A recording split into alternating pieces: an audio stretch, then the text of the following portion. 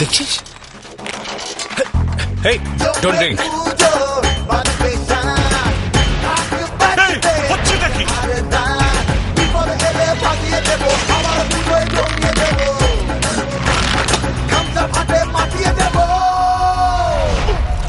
দম আছে।